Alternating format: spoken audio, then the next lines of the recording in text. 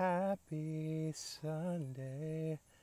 I hope that you have the best day.